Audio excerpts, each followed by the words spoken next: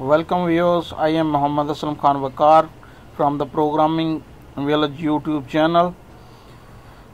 We have started a new series how to install software on Windows 10. Today our lecture is how to set path of C Sharp compiler CSC on Windows 10 or how to set path of .NET framework. Mm. Uh, what are the benefits of setting the path? We can build C Sharp application without installing Visual Studio. Let us start. Uh, when we install Windows 10, .NET is automatically installed. C window and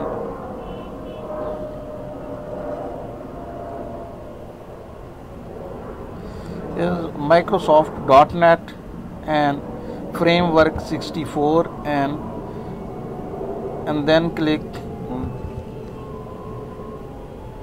and here is the our required file file uh,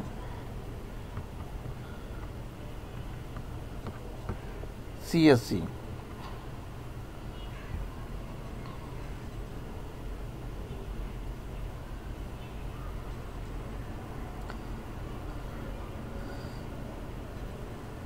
copy.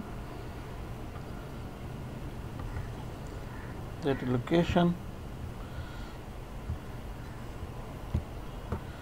And now right click on PC advanced system setting environmental variable. Mm, here's a path edit and new uh, paste. Okay. Okay. And oh, okay. Uh,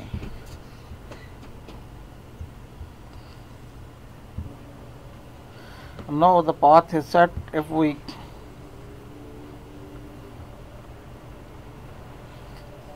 here we give the CSC version. Not known.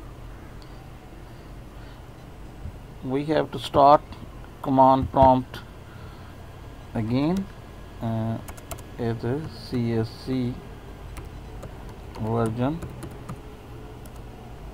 Uh, now the it shows that path has been set. Uh, Microsoft Visual C compiler version 4.6 uh, for C sharp 5 copyright and this and we can um, know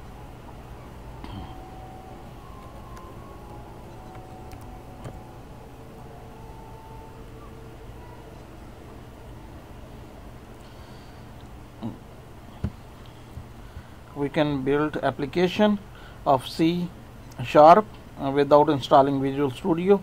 Uh, this is the way uh, how we can set the path of the C sharp compiler on Windows 10 thank you for the watching. Please subscribe our channel for the further videos. Thank you